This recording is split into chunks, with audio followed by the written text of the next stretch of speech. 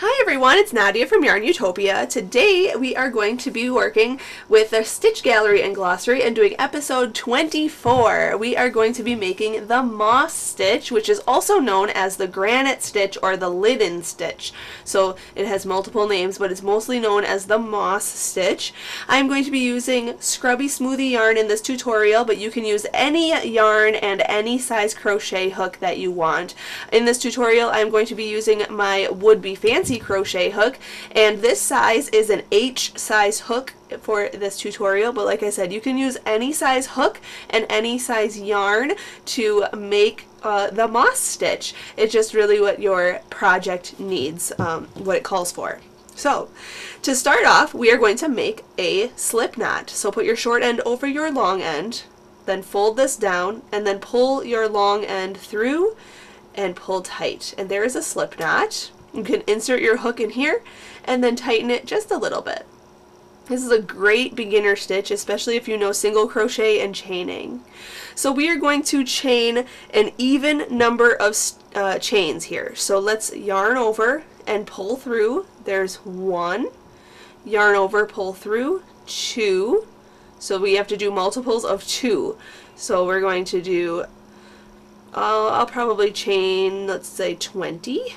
So 1, 2, 3, 4, 5, 6, 7, 8, 9, 10, 11, 12, 13, 14, 15, 16, 17, 18, 19, and 20. Now I'm going to just do 20 chains for this tutorial, but you can do as many chains as you need to for what you're making. You can do scarves, blankets, etc. So just know your measurement.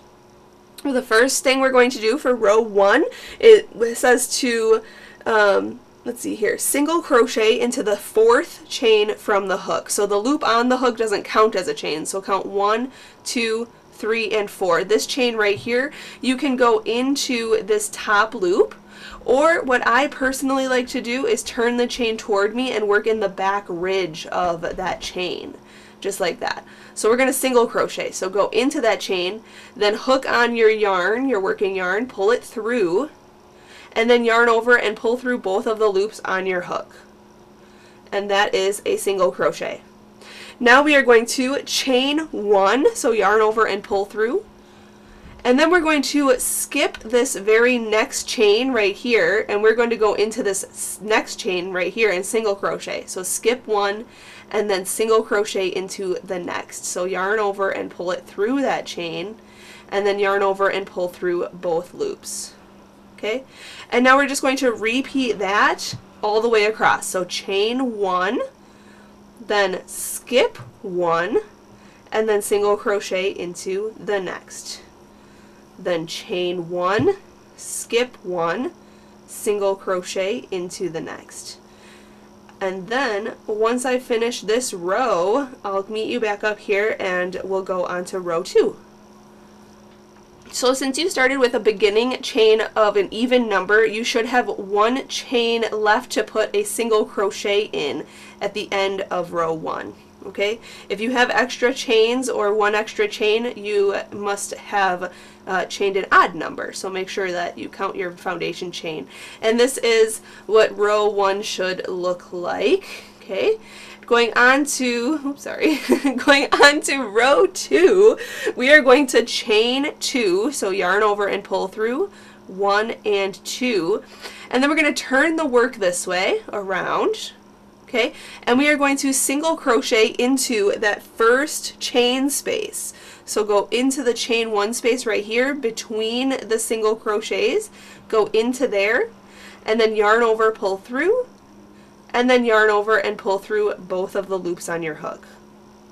Now we are going to chain one, so yarn over, pull through, and then hop to the next chain one space between these single crochets right here and make your single crochet in there. Okay, just like that. Then chain one, hop to the next chain one space right here, and make a single crochet into there. And just do that all the way across. So chain one, skip the stitch, go into the next chain one space right there, and just single crochet. Okay, do that across and I'll meet you up at the end of this row. At the end of this row, you can see your single crochet and then there's a space here and then your chain right here. That's the beginning chain four. So we're going to go into this space and make a single crochet. And that is the end of row two. So going on to the next row, this is what your work should look like at this point. You can start to see the moss stitch design. We're going to go on to row three, and row three is our repeat. We are going to chain two, one, two, turn your work this way around, and then we're going to basically do similar what we did to, uh, on row two here. We're going to go into the chain one space and single crochet, then chain one, skip to the next chain one space and single crochet in there, then chain one, go into the next chain one space, single crochet in there, and chain one. Make sure you chain one between all of your single crochet stitches and just work into the chain one spaces. It's that simple. Now at the end of row three, we are going to work into that last space, which I'm getting there very soon, so you can just continue watching. I'm going a little faster because it's just single crochets in the chain one spaces. So you can see here's the single crochet, and then there's a chain two here. I don't know if you can see it very well. Yep, you can see it right there. One and two. This is a chain two space. We need to go in between this single crochet stitch and this chain two space and make a single crochet in there. And that is where your last stitch will go on row three. Now that is going to be your repeat for the rest of this pattern. So chain two, turn your work this way around, and then work into your chain one spaces and single crochet in there, then chain one, single crochet into the next chain one space, chain one, single crochet in the next chain one space and chain one and that is the pattern and then when you get to the end oopsie my crochet hooks got tangled up in my yarn.